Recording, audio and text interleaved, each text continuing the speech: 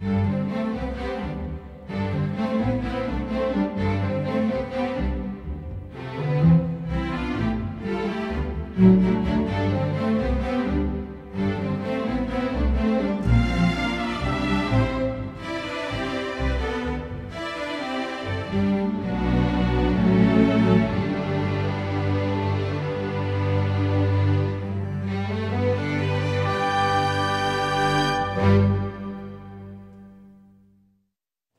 been charged with discussing DRUJ injuries and instability.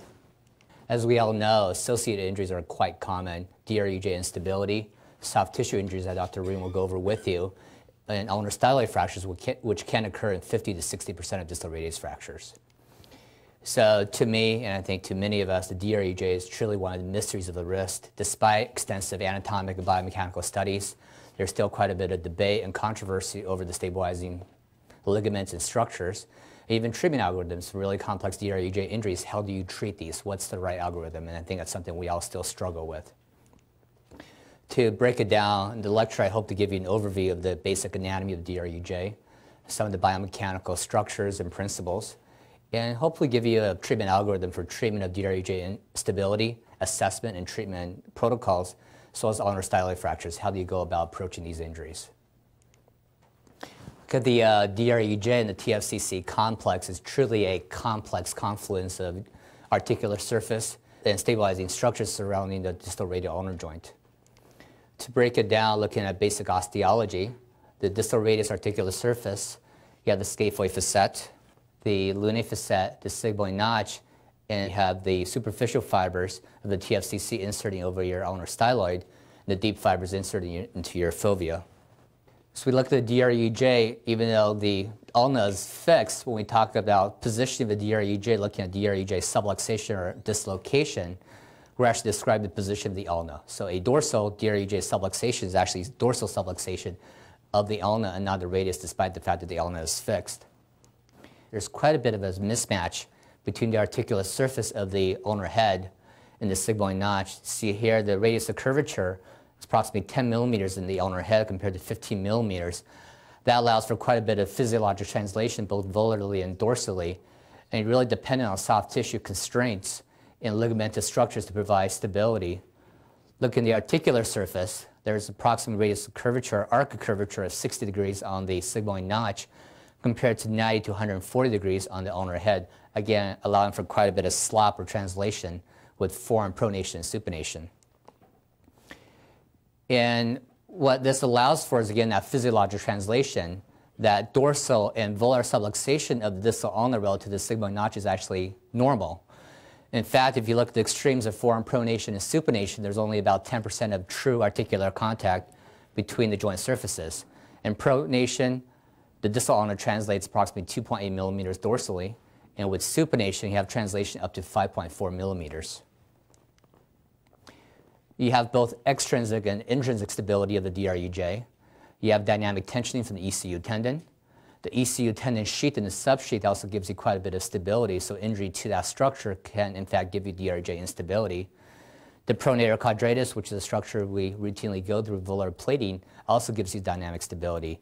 Especially in forearm pronation, what the pronator quadratus does is it co-opts the ulnar head into the sigmoid notch, giving that dynamic stability.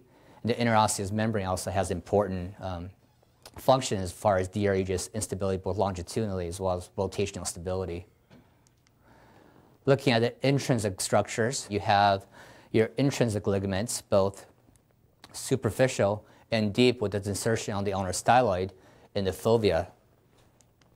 And if you look at some of the superficial fibers over the styloid and the fovea with its insertion of the deep fibers of the ligamentum subcruentum. If you look at a lot of the biomechanical studies out there, there's certainly a plethora of these out there. You sort through, if you look at Schuind's article, which is a classic article in 1991, the palmar ligaments are tied in supination, the dorsal ligaments are tied in pronation. Then you go back and look back in the literature a decade earlier, Ekenstam tells you that no, it's in fact the palmar ligaments that are tied in pronation, and the dorsal ligaments are tied in supination. So this is where you're looking through the literature and you're thinking, wow, now I'm really, really confused. How do you reconcile the difference out there? Obviously, both studies are well controlled, well done. So what, in fact, is going on here? So if you look at the studies really carefully, both authors and both conclusions are actually quite correct. Schuind was in fact looking at the superficial fibers. So if you look at the forearm in supination, the distal ulna has a tendency to sublux dorsally.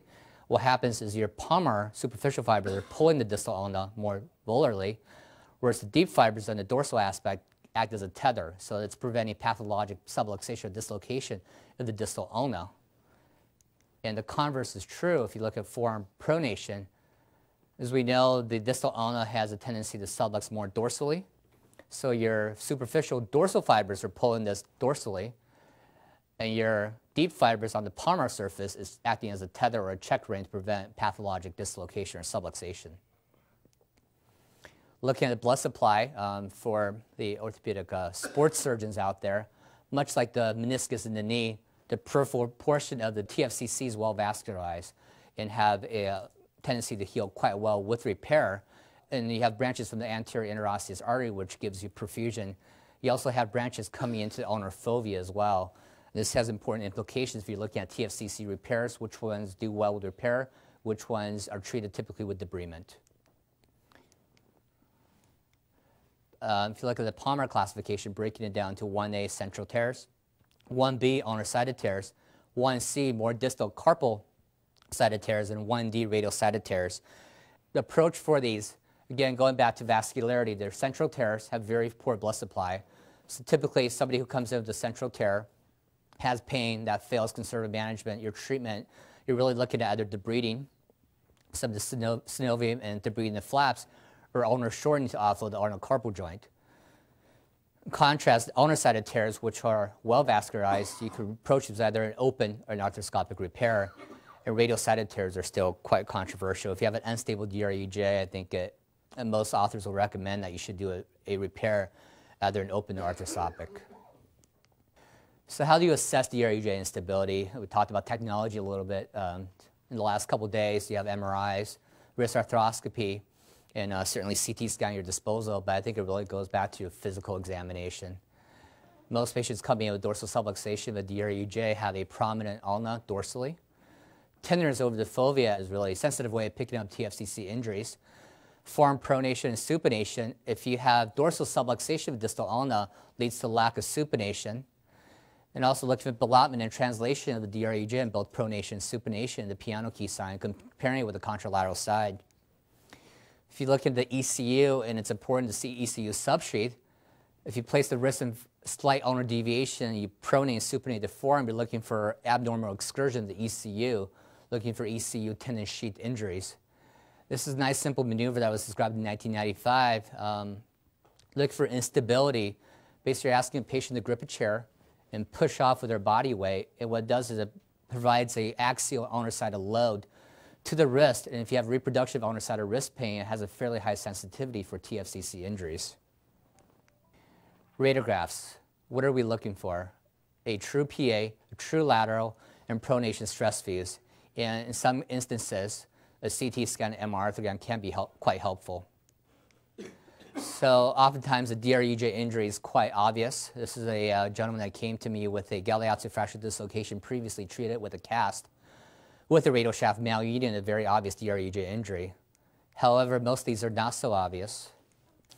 So we're looking for on a PA view, if you have a fracture at the base of the ulnar styloid, again, that's your insertion of the superficial fibers. Winding of the DRUJ, several studies have shown that if you have proximal migration of the distal radius more than five millimeters, it's also consistent with a DRUJ injury. But as we all know, DRUJ instability is oftentimes very subtle. It's oftentimes missed. Here's a, a, patient that has a PA and a lateral radiograph of the left wrist. But if you look at this a little bit more carefully, you have the pisiform, which is quite palmar, so it's really not a true lateral. If you ask for a repeat lateral of the wrist, you'll find that now you have a pisiform, which is in its position in the middle there between the scaphoid tubercle and the capitate. You have a slight dorsal subluxation of the distal ulna. And also, all of us have been in clinic where we ask for a true lateral of the wrist and uh, certainly get quite a few variations out there as far as interpretation of a true lateral. I think it's really important to get a true lateral for assessment of DRUJ. A true lateral has been defined that if you take a true lateral, the pisiform should be sitting in the middle there between the anterior border of the scaphoid tubercle and the capitate. And even just a 10 degree deviation of a true lateral significantly reduces the accuracy of your examination. CT scans are helpful for looking at subtle subluxation or instability, as well as looking for malunions, articular incongruity, and also sigmoid notch morphology. So the gentleman with dorsal subluxation of the distal ulna with a fairly flat sigmoid notch that's subluxed on pronation and reduced in supination. A different patient here, in this one you have a volar subluxation of the distal ulna on supination that reduces quite well pronation. So again, this helps you pick up really subtle instabilities and also assess for, you know, is there loose fragment, is there articular incongruity that's preventing a reduction. MRIs may be helpful for assessment of TFCC injuries and also looking at your radial ulnar ligaments a little bit more closely. So you know, a question that's been looked at uh, quite extensively, especially with the AO study group, is looking at ulnar styloid fractures. So patient with a standard volar plate of the distal radius with a base styloid fracture, do they need to be fixed? If you look at the anatomy again, your deep fiber is actually inserted into ulnar fovea, which is actually not your ulnar styloid. It's your more superficial fibers are probably not as important that's inserted into the styloid. So I think an injury that's a little bit more concerning that you should really look for is not so much the styloid fracture, but that's this little fleck, which is a uh, indication that there may be a TFCC avulsion off the fovea centralis. You might want to look for that on a radiograph as well if you're looking at DRUJ instability. So I think, again, several retrospective comparative studies have shown us that after fixation of a distal radius, you really have the same outcome with or without a styloid fracture, tip versus base. Whether you have displacement or no displacement really doesn't make a difference. And most non-unions are in fact asymptomatic. More importantly, you have to look at the DRUJ. Somebody who is unstable in pronation but stable in supination, if you put them in supination, those superficial fibers are pulling the distal ulna volarly to give you stability and you should have a long cast.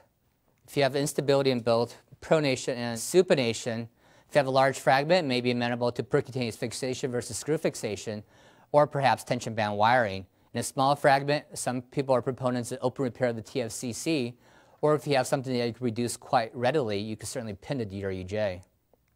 In an isolated acute DRUJ instability or dislocation, again looking for instability in pronation and supination, if you can find a stable position, you can certainly mobilize an alarm cast. If it's unstable in all positions where you have very little stability, K-wire fixation just proximal sigmoid notch uh, is one approach. What about somebody who comes in with a DRUJ that's dislocated, but no matter what you do, you cannot reduce the fracture, you cannot reduce the distal ulna. You can't have a complex dislocation where you have incarceration of the ECU tendon, or perhaps extensor to the small finger or TFCC fibers. The approach for this is generally to excise the retinaculum over the fifth dorsal compartment you raise the ulnarly base capsule retinacular flap, leaving the ECU tendon sheath completely intact if possible, and reattach the TFCC directly down to the fovea. Ruch et al., as, far as, as well as several authors, have advocated perhaps arthroscopic evaluation looking for TFCC injuries after a distal radius fracture. They've shown that with an arthroscopic repair, whether it's outside in or inside out, they actually do just as well as an open repair. So this is another technique that you could utilize in your practice as well as an arthroscopic or an open repair, depending on your comfort level. In a chronic dislocation, you're looking for malunion, a styloid fracture. Do you have a large fracture? Do you have a small fragment? Does it involve the TFCC? Joint congruity. Are there reasons for persistent dislocation or instability in the sigmoid notch? Arthritic changes. Is it too late to do an acute reduction or a stabilization of the DRUJ? Functional bracing is certainly an option for a patient that's not a surgical candidate. Both off-the-shelf and custom braces have been shown to give you some volar and dorsal stability as far as preventing that physiologic subluxation, but most patients don't tolerate this as well. There's cases where a CT scan, again, gives you a better idea what the sigmoid notch looks like. Gregory Bain, Australia, talks about using opening wedge osteotomy. You're trying to create that, reproduce either the volar or the dorsal buttress to prevent distal ulnar subluxation with the opening wedge osteotomy and bone grafting. In the cases where you have nothing to repair, either an acute or a chronic injury, there are several ligamentous reconstructions that have been described, both intra and extra-articular. One that I like to do is the one described by Brian Adams out of Iowa. You're basically using a tendon graft to recreate both the palmar and the dorsal ligaments and reattach it down to the fovea back to its anatomic insertion. I think in summary, soft tissue injuries are quite common distal radius fractures. It's really important to assess the DRUJ after fixation of the distal radius. A true rally of the wrist is very important, both preoperatively and intraoperatively to look for DRUJ instability. We talked about the importance of volar and distal and dorsal DRUJ ligaments. And again, it's really the DRUJ that matters, not so much the ulnar styloid. Again, welcome to Seattle. Next, Jeff Friedrich is going to talk this morning about uh, uh, distal uh, radius fractures and associated nerve injuries. Okay, thanks, Nick. Um, so the title is Wrist uh, Fractures with Neurologic Deficits, but what we're really talking about is what do you do about carpal tunnel syndrome with a distal radius fracture? I'm going to talk about some of the other less common nerve injuries, but really, I, I think what people want to know is what do you do about that median nerve that's uh, suffering a little bit after, uh, most commonly the distal radius fracture, although it can be with other things like a perilunate fracture dislocation or uh, the like. So what, what are we talking about? As I said, mostly median, but sometimes ulnar nerve dysfunction of the wrist uh, or after wrist injury. Uh, and what wrist injuries are they? Uh, far and away, it's uh, distal radius fracture, at least from our experience here, uh, but uh, certainly with perilunate dislocations or radial carpal dislocations, these can happen, but it's most commonly the distal radius. So the incidence, what is the incidence? Well, it we're not entirely sure, but it seems to be low, uh, 2 to 7 percent, depending on which article you choose to read. Um, and the risk factors that have been found are uh, fracture translation, and I think that's the big one. How much is that uh, fracture translated uh, prior to reduction? High energy injuries can uh, uh, lead to these nerve dysfunctions.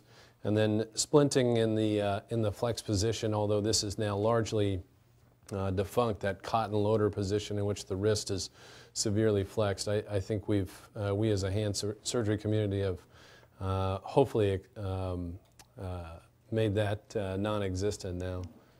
And so here's, uh, here's just an example of someone that probably is at a high risk, and you'll see this case again later on. I have some examples, but that's, that's about a 200% translation. That's a lot of translation of that distal radius fracture.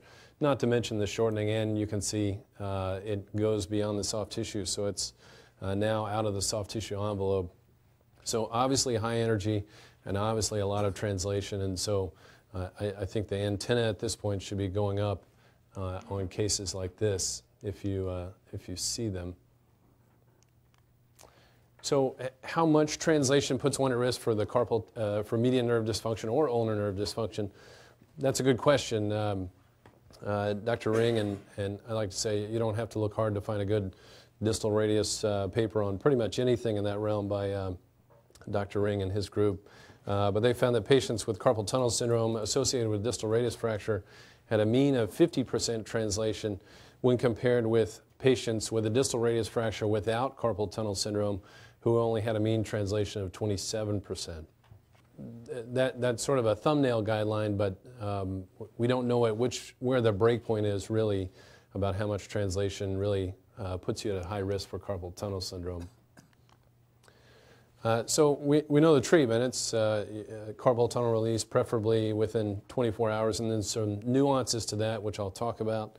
Uh, and we also know the sequelae if it's untreated, numbness, uh, intrinsic muscle weakness in the hand, especially with the thenar musculature, uh, and pain, uh, none of which are trivial uh, outcomes following this problem. So I guess the big question is, do all patients with carpal tunnel, tunnel syndrome following a distal radius fracture uh, need to be released? Uh, and, and you, we can probably stop the sentence right there. Do they all need to be released? And then the, the, the segue question to that would be, do they need to be, released right now? Uh, and so we'll use some examples to talk about that. So uh, let, let, me briefly touch on ulnar nerve injury uh, with wrist injuries. These are fairly rare, 25 cases reported in the literature. Uh, apparent associations are somewhat similar to the median nerve injury, high energy fractures or injuries, uh, and an associated ulna fracture, neither of which are uh, big surprises. I think those are fairly intuitive. most commonly, these are neuropraxias that uh, ha have seen resolution later on. So the diagnosis with uh, nerve deficit is chiefly physical exam and serial physical exam uh, right from the get-go and, and uh, frequently thereafter. Role of electrical testing, it, early on there's not much of a role. Um, it, it's not helpful acutely and it usually does not become reliable until at least three weeks after an injury and perhaps more. Uh, so certainly the night of, um, you know, there's not much other than physical exam that you can use to rely on to, to diagnose a, uh, a carpal tunnel syndrome or a median nerve injury and its evolution. So do all carpal tunnel, do all median nerve deficits need to be released stat that night? Maybe not, although this is, I think, certainly up for debate and it's not something that with our literature we've uh, definitively solved. Uh, so I'm going to present three scenarios here. One is nerve dysfunction from time zero, from the time of impact, really. Uh, progressive nerve dysfunction, and then nerve dysfunction following treatment, either reduction and or uh, uh, fixation. So scenario one, uh, and these are all patients of my own that uh, had these actual um, scenarios. So the first one is a 20-foot fall from a scaffold onto a hand. the thumb, index, and middle finger were numb since injury. Uh, the, the patient never lost consciousness. He very reliably says uh, these were numb, you know, uh, from the moment I became cognizant of the fact that I had a hand injury. He's got a comminuted distal radius fracture, which you see here. Um, not a lot of translation, although it's, uh, it, it's quite impacted. So he really just stuffed his wrist into his, uh, into his forearm. And so that's a high energy injury. Again, from Dr. Ring's series, that, that's, uh, that's a risk. Um, so the median nerve injury, as best we can tell, and we were fairly confident about this, it, it happened with the fall or at impact. Uh, does not appear to be due to rising pressure within the carpal tunnel. It um, quite likely is due to a direct injury to the nerve. Uh, release, I, I say probably warranted at the time of surgery. And we did that. We fixed his fracture, we released his carpal tunnel, and his median nerve symptoms persisted and really have never abated, uh, despite a lot of hand wringing on my part. Um, so, and he's had persistent numbness and now pain for, for years. So scenario two is a uh, young male involved in a motor vehicle accident. No numbness initially, um, you know, from the time point at which he can remember being cognizant of having a wrist injury but it, at least in the emergency department, it was progressively worsening. So here's his x-rays. The AP, you can see, it, it's not entirely impressive. It does have shortening, but on the lateral, you can see a significant amount of translation. I would argue that's at least 100% translated, perhaps 125. And again, we know that that's a, probably a risk. And he was having uh, what we call progressive median nerve deficit. It, uh, he, he maybe had a little bit of tingling uh, when he first got to the emergency room, and now it's getting more and more uh, numb as the evening uh, goes by. So we feel that that indicates increasing uh, pressure within the carpal tunnel, whether that's from edema or hematoma or all the above.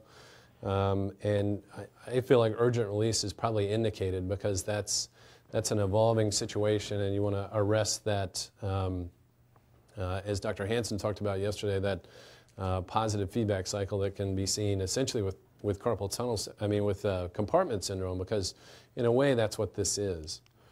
Um, so we did his, uh, we went ahead and did him that night, did his uh, fracture fixation and um, I'm happy to say I don't use a volar plate for everything as you can see here. So we use some intrafocal pinning. Um, and so it's, uh, the fracture pattern was relatively simple.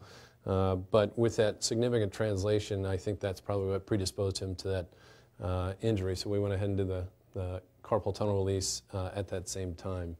And, and, over the next few days, his uh, median nerve still had some numbness and tingling, but that pretty rapidly got better after surgery, much to our, um, um we were pretty pleased about that, obviously. And so then there's scenario three, 45-year-old uh, male uh, involved in a motorcycle accident. He had a comminuted distal radius fracture, a normal neurologic exam prior to surgery. Um, and we did a fixation of his distal radius fracture. Um, you can see the, it's a little bit difficult to see here. He's got a comminuted distal radius uh, and actually a scaphoid fracture. Um, and here are those fixed. Uh, certainly in looking back at my results can improve on my plate placement, but um, he um, then began developing uh, progressive numbness and tingling in the median nerve distribution That was not relieved by bivalving the splint. And so we took him back to the operating room emergently because this, again, is an evolving compartment syndrome. Uh, and so here's his release. This was our original incision from here to here. We extended it all the way into the forearm, and then uh, this is prior to making our, we hitched it over to the, uh, to release the carpal tunnel. And again, thankfully, his, uh, his compartment syndrome and carpal tunnel syndrome defervesced uh, after injury, or after release. So I, I, and I think we can sort of extend the scenario three, which is uh, worsening nerve symptoms after uh, treatment to, I think, the subacute period, even in the week or two after surgery. Uh, sometimes these, uh, uh, once in a great while, we see people that have worsening numbness and tingling once they've come back to clinic and maybe developing a, um, uh, a positive, I mean, a, an early chronic regional pain syndrome or what used to be called RSD. And I think those people warrant early and aggressive intervention. At the very least, um, aggressive physical therapy and perhaps consideration for carpal tunnel release, although, again, that can be uh, fairly controversial. And then there are, there are really unusual cases. Um, this was a, a, case of mine. Uh, this is a 14-year-old male. He was climbing in a tree about 30 feet up, and he took a, took a spill and really had a bad injury constellation. He had a severe labral laceration. Our, my trauma surgery colleagues tell me it was one of the worst ones they had ever seen and he had a head injury. He had bilateral distal radius fractures, and he was intubated in the ICU for a week. So that confounds things when you can't really get a good examination of the patient. So here's his, uh, he, he, had, bilateral, as I said, bilateral distal radius fractures. This is the left side. Again, nearly 100% translation. Uh, here's the right side, probably 150 to 200% translation. Um, and this is that one that I showed you before. This is the uh, radius sticking out of the skin. Uh, this is reduction the night of on the left. That's you know not great, but it's you know it's okay for someone that's in the uh, in the ICU and unstable. And then this is his uh, reduction film on the right. So he was finally extubated after a week um, and uh, became stable enough that we could A, examine him, and B, start to think about uh, treatment and he had a variable neurologic exam with both hands. Uh, we thought that was initially due to uh, his mental status and his ability to, to cooperate with us. Um, but we took him to the operating room and uh, surprisingly had, you know, through that open wound that the distal radius went through on the right side, uh, we were somewhat surprised to find that that's his median nerve. And uh, the uh, metaphysis of the distal radius had just sliced right through it. Um, so we uh, fix that with sural nerve grafts. And um, this is his uh, left side after percutaneous fixation, his right side. Uh, not surprisingly, he uh, may have a physeal arrest there, but he's mid-teen years, so that probably is not going to be a problem. Uh, but that, that's a, an unusual case. You know, most of these median nerve deficits are going to be to neuropraxia, but don't rule out uh, an actual structural injury to the nerve itself. So in summary, wrist injury with an instant uh, non-progressive, it can't progress because it's already is, uh, you know, fairly bad. Nerve compromise, uh, we, I believe that that warrants carpal tunnel release, uh, but probably don't need to do it that night, don't need to do it ASAP. It's the progressive ones that need to be done that night, and these are essentially evolving uh, compartment syndromes. Uh, the change after manipulation, either, either, either after a reduction or fixation, uh, again, that's an evolving compartment syndrome. Uh, and, you know, at the very least, take down the splint, see if that relieves it, and consider nerve release. And then uh, common things are common, but uh, don't, don't forget about in the back of your mind some more unusual, as I said, structural injury to the nerve, although it's, it's quite rare. Thank you very much.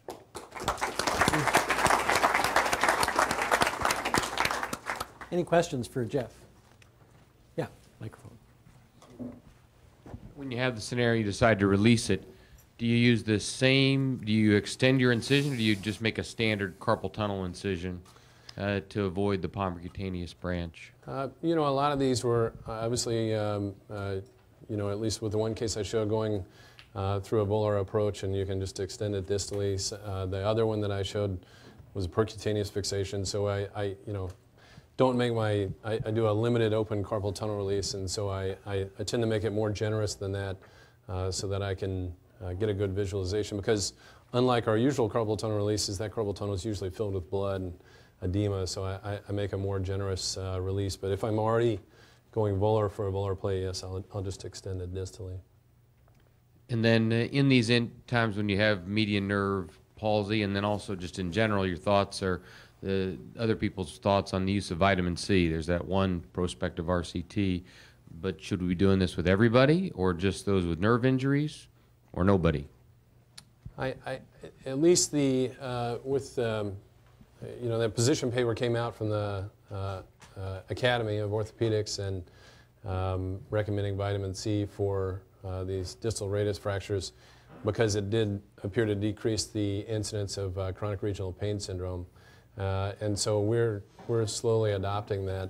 Um, but I, I haven't been selective about it from the application of people with nerve injuries. So.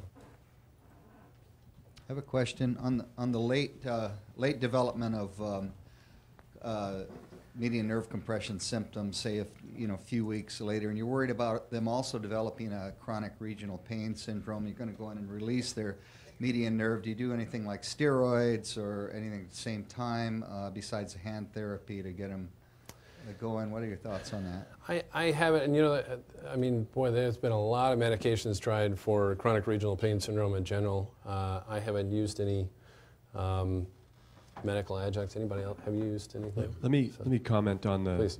the guidelines, the AOS guidelines. Um, that, that's a growing experience, I think, for all of us. First of all, they're evidence-based guidelines. It, it's basically a roadmap of what evidence we don't have, which we really don't have as much as people imagine we do, and, and what we need.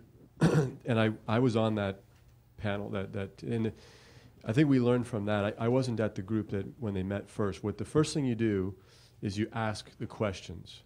And, and what we learned from this experience is you got to ask your questions carefully because we should never have asked that question. We, you know, it's, it's kind of a really stupid, irrelevant question, really. And the thing is, there was two randomized trials done by the same guy who's an advocate of this.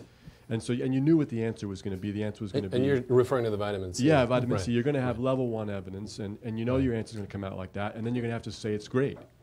Mm-hmm. So the only defense to that is my love, science. And Margaret McQueen redid the study, no difference. Uh, she hasn't published it yet. We need other people to redo it. I, d- I really don't think vitamin C has anything to do with it. I'll have more to say this afternoon. The only reassuring thing about that is that you know vitamin C is no longer under patent, so it's uh, le- le- It's cheap. le- le- less of a less of a conflict of interest there. Dr. Yeah, Merritt. Dan. Uh, Dr. Freer, quick question on uh, your scenario one, where you uh, had a patient who was awake, had a fall, known median nerve symptoms immediately, completely out. Do you explore that nerve at the time that you fix the uh, fracture, or uh, do you just do a carpal tunnel release? It was it was kind of unclear. I, I just did a carpal tunnel release. Um, and are you referring to beyond that doing a neurolysis? Yeah, like an external neurolysis, and just making sure that you don't have a laceration. No, you'd, you'd visualize the nerve, and when you're Right. in fixing the fracture, you'd visualize the nerve in its place associated with the fracture, I think. With, but- with a closed injury, yeah, I, I, I, I didn't, and I, I probably wouldn't. Although you know that's that's certainly That's a very people could astu- argue with that. That's a very astute question, and, and Bill and I were talking about it because your, your last case with the median nerve transection. So uh, when, when you were talking about the guy who reported, I've been numb since I, from the moment I fell, and he could clearly report that. That does kind of raise a red flag for me because acute carpal tunnel takes a while to develop. In fact, 24, 48 hours even post-op. Um, and I and because we do volar exposures, I probably I probably would have peeked over and looked at that nerve. It's right there, um, but I'm not sure I would have. I'm not sure I would have. Well, and, and they, you know, the, I think the segue to that is, at least with volar plating or a volar approach to this, to the distal radius, should we just release all, all the carpal tunnels? And, you know, because some people would argue, well, you're, you're there, you need to make your incision a couple of inches longer, but I, I, I think carpal tunnel release is not a benign procedure. It certainly has potential for complications, and so. They don't have symptoms, I don't think you would. Right. Yeah. They- They don't have symptoms. But there are people that would, arg- I, I think, do argue that if you're in a, doing a volar approach, just do the carpal tunnel release. There- There's an old British article, and I don't know if it's in the British uh, Journal of Bone and Joint or in SGO or something, but I looked one evening for it last week, and it talks about finding spicules of bone at the level of the fracture in the median nerve and advocated uh, a release of the fascia. So I just always, if I've got symptoms, I always just go over and, and look at the nerve at the time of fracture care. But I make a separate incision in the palm, and I try to leave a skin bridge between the distal palmar flexion crease and my limited open carpal tunnel because you can see the nerve, you can retract it, you can explore it through your fracture care site if you got it open. But if you don't have it open, make a little secondary incision, look at your nerve at the fracture site if you do dorsal pinning or, or, or orthogonal pinning or, or Kapandji pinning. And, and for you, what is that uh, second incision versus continuation of your volar incision? What, what's I just in don't like all the is tendons hanging out. Yeah. I like to have the palmar fascia, that fat, that skin, and just a normal palm because you want to get them moving if you're Yeah. going to fix them. So just one lot more inhibition of pain, you know, kind of thing. Yeah, certainly if you're going to do a compartment release associated with the carpal tunnel release, leave that skin bridge, because otherwise you will be looking at tendons in the nerves. Mm-hmm. Yeah.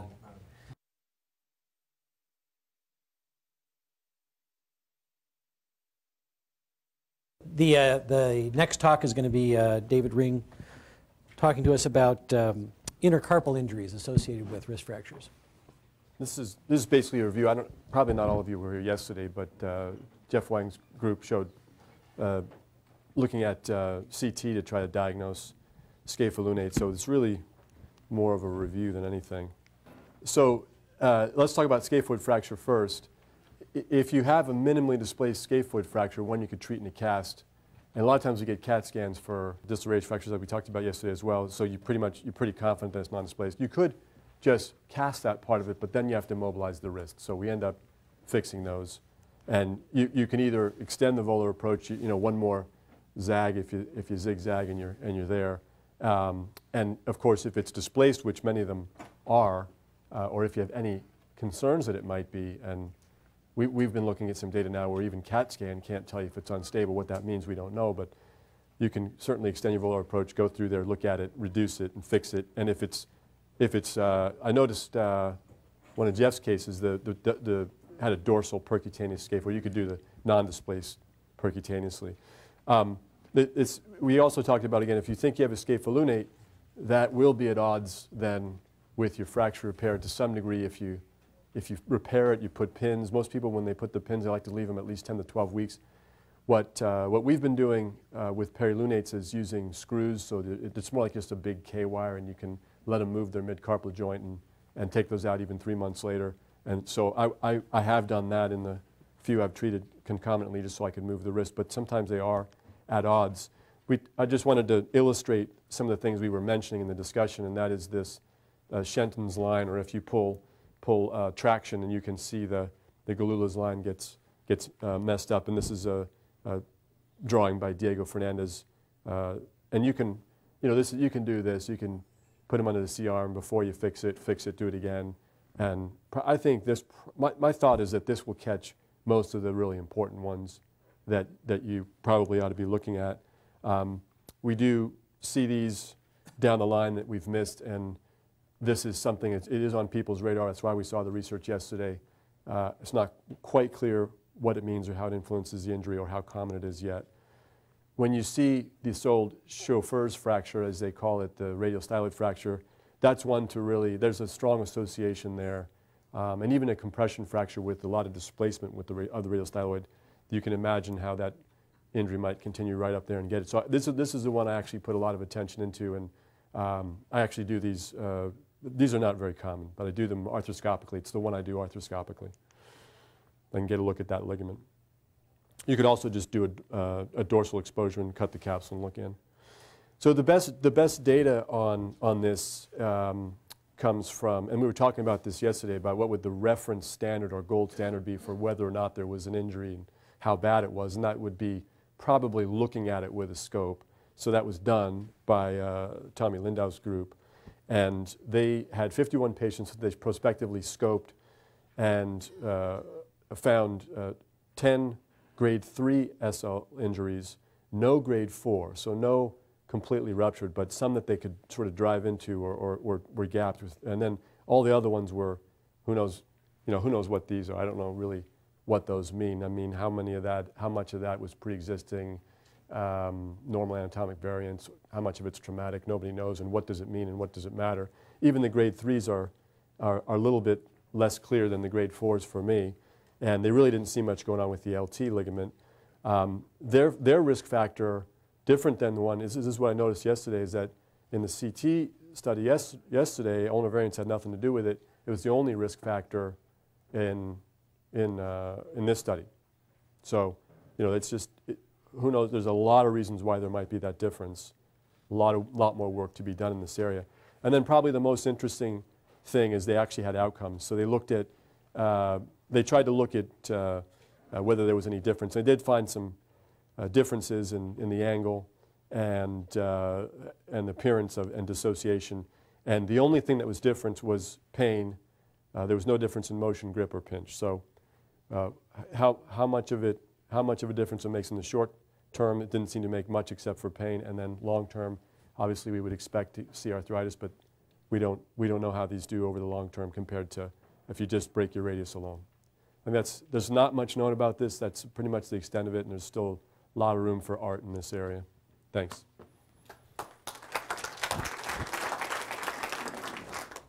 All right, the last lecture of uh, this segment is going to be my long-term partner Chris Allen talking about uh, external fixation. Does it still have a role, and if so, what?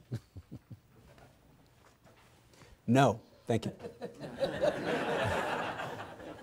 uh, so X-Fix, still relevant. This has been around for a long time. I think Tom Fisher told us that this was, uh, this goes back over 100 years, and Ombrédanne came up with this idea. This doesn't look too much different than what we've been doing recently. It's a very good idea if you pull things out. You can distract fractures and stabilize them briefly. And uh, so you can take impacted fractures and reduce them, and then you're left with the issue of stabilizing. But this is a good first step and actually comprises the first step in fracture reduction for cases even with volar plating.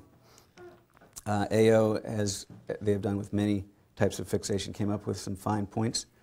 Um, you can wiggle this thing around. It doesn't get you your reduction. You have to get your reduction and then stabilize it with the X-Fix. Uh, the AO folks if you have an upper extremity, it's indicated for surgery, it would seem, by this list. But um, if you narrow it down, X-Fix is useful. If you can't obtain and maintain reduction in closed fashion with a splint or just pins, if for some reason you can't get it with ORIF, you've seen some of these smashes that Jeff showed and that uh, where ORIF would have been a challenge. Sometimes an X-Fix can get you what you need. Or if you just can't do it because of the soft tissue envelope or you've got polytrauma you need to move quickly, uh, how do they do for interarticular radius fractures? Actually, pretty well, according to this report. This goes back about a decade, uh, but their point was that um, the folks who, on balance, did the best were treated with external fixation, and, and they uh, felt that this had to do with the soft tissue stripping that happens with ORIF and some of the impairment of motion. Uh, I, in the interest of fairness, can say that a couple of reports have come back, come out since this time, suggesting that with careful soft tissue techniques, ORIF actually is better. And I think that's, that's probably true. Pitfalls are many, and we'll go through them one by one, so I won't read them to you here. But pin tract infections are common, one in five in, in a large series. Uh, treated successfully with just antibiotics, nobody had long term bone infection. They look like heck, and so there's one up at the proximal pin site and a close up view of the ugliness. So, uh, the treatment for this is get these pins the heck out and get x-rays and make sure you don't have an osteo that's going to need curettage. Get them on antibiotics. But happily so far, knock on my wooden head, uh, I haven't had any long-term problems with pin sites, though I don't use these very much. You're going to see this business of the bridge plate, so we'll show you that. Uh, so as I said, antibiotics usually get you out of the woods on the pin site infections. Range of motion is a problem if you just lock them in. That's true with ORIF as well. If you're going to fix them, fix them in a stable enough fashion that you can move them because nothing hurts results like uh, letting the thing just sit there and bake and develop stiffness. And uh, whether you move them ahead of time or after the fixer comes off, move, move, move. Uh, non-bridging X fixes offer some advantages. Margaret McQueen has published on this extensively. So this looks pretty good, and you can actually get them moving early, and they did better with this construct rather than extending past the radiocarpal joint. But obviously, if you have a ridiculous amount of interarticular comminution, uh, this may not be your tool of choice because it doesn't protect the radiocarpal joint. And I, I, think I'm not alone in having had folks collapse and uh, what looked like a good reduction in the OR look a lot less good later on with this sort of uh, business, even with the volar plate, truth be told. Uh, I've never seen so far an injury with the radial sensory nerve, but it seems like a reasonable thing to talk about. It's right there for your proximal pin cluster. Um, we'll talk about this and its consequences with bridge plating as well. And it's also important to remember there are little branches distally, which can be just as irritated. These things can break. This is a 76 year old gentleman who I'm sure wasn't doing handstands, but managed to have enough force across this that he broke his pins proximally here. So you can see right here. And so there you're left with a challenge. First, you have to stabilize the fracture if it's not yet healed, and second, you have some hardware to go chasing. And the treatment for that might be, in addition to locking him down, to use just the bigger pins. So this is the AO set, and the top pins there are 2.5 millimeters, but you can go with these 4.0 shank screws, and that might be the better, the better way to go. Uh, you can increase the stability of a fixator by using more pins, having them closer together, having more bars, having the bars closer to the skin, and linking the bars. So that might look like something uh, as shown here. And I liked, again, Tom Fisher. I keep complimenting him and quoting him, and he's gone. But he had that little, uh, uh, what he called a fixer, just applied on the, the radial column. And so that sort of um, takes you to the idea of the bridge plate, which is basically an internal fixator, uh, which we'll get to in just a moment. You can increase stability with this additional pin. This was uh, a group publishing this about eight years ago in JBJS showing that this additional pin through the styloid significantly increased stiffness of the construct and minimized loss of reduction. You can do this wrong. There's no tool that can't be used incorrectly. I prove that routinely. Uh, this is a guy that I thought would do well with an X-Fix and pins, and I have no idea what I was thinking 10 years ago, or if I was, but maybe I was scared off by this, uh, this Galeazzi fixation from a prior uh, injury. He's a 30-year-old Microsoft employee that has a six-foot-long, um, I guess you'd call it a body-type skateboard, and just likes to go downhill fast. And uh, so I, you know, God love him, but um, so he had this fracture, and I uh, pinned it and X-fixed it, and it looked not great, but it looked a lot less great at three weeks. So I went back and did the right thing eventually. You can see it so long ago, we, we did not even have the locking volar plates, but he eventually did okay. This is a little old lady with poor bone stock, um, who is, by Dave Ring's definition, elderly since she's older than me. And uh, so she's got all this missing bone, and we put on, we plated the ulna, X-fixed the radius, she started to fall apart and uh, screws are pulling out, everything's collapsing. So we just splinted her or casted her and she actually uh, healed up. So that I, I, think this oblique view must mean that it looks so terrible in the AP that I didn't want to show it. I, would like to think I went back and pulled this out, but I, I can't promise you I did. So what about bridge plating? This is actually a mandibular plate, a 2-4 locking plate from the Synthes mandibular tray, and Doug Hanel taught me this. And I think it was Burke who first wrote about it. But you can just uh, take the mandibular angle out of this thing with benders and slip this underneath the uh, ECRL, ECRB, and get longitudinal distraction and pull things out to length and uh, pin the ulna if need or, or plate it. This has been studied. Burke originally would open the fracture and uh, fix it with K-wires, bone graft, and then offload this with this distraction plate and then take them out later. So that's a second procedure, keep in mind. And so you may risk that radial sensory nerve proximally or distally. But it can work well in many situations, and it's been studied by other authors uh, who show that it's as simple as, less expensive than, and accepted as well as, and has fewer complications than X-Fix. And biomechanically has been shown in this uh, report from CORE to do as well as or better than X-Fix in every single parameter assessed. And they compared a couple of different plates.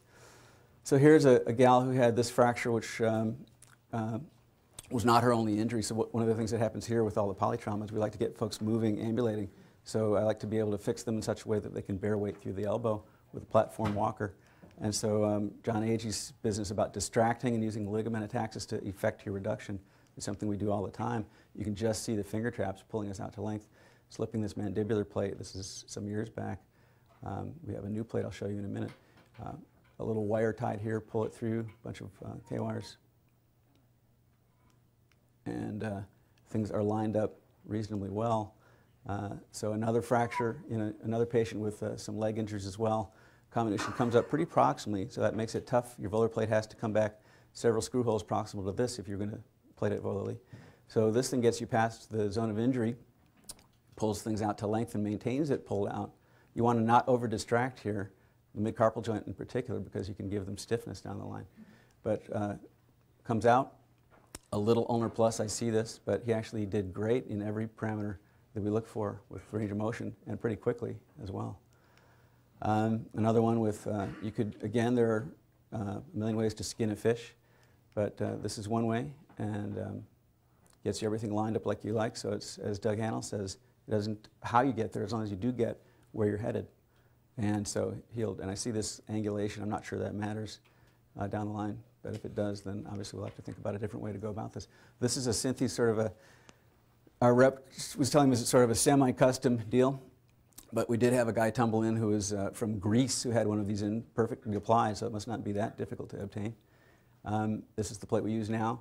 Rounded, smooth edges. Uh, some of those serrations on the mandibular plate led to tendon ruptures with uh, retrieval of plate after the fracture was healed. So we haven't had that problem since this has been devised, and it's lower profile, 2-4 locking plate. I have no financial interest, but uh, it does work well. Here's a fellow who uh, also had lower extremity fractures. He's got a difficult to see here, scaphoid fracture. And um, here, he's got separation of the volar cortex from the articular surface, and I am not as deft as some of the volar platers if I have separation here because I end up having difficulty getting this thing, the articular surface, where I want, since it's no longer attached to the place where I'm sticking my screws. You could argue just uh, an issue with surgeon uh, imperfection, but uh, we can get him out this, I see the gaps, I see the step-offs, but we got all this stuff uh, distracted so that he could actually bear weight through his elbow on his uh, walker while he waited for his uh, talus fractures to heal. And so plates out. This looks terrible, I grant you. I mean, it's uh, grossly overall aligned, but his range of motion is this. He's got 90-90, 90-90, and he's, it's a credit to him. He's about 50 years old. He looks like he's about 30, and he works hard at, at getting a good outcome. But uh, just goes to show you, you never know what's, what's going to give you the outcome you want. Sometimes it could be this. The volar ulnar corner has been written about as sort of the bugaboo of, uh, in particular, the volar plate. Difficult to get to through the standard FCR approach, difficult to instrument.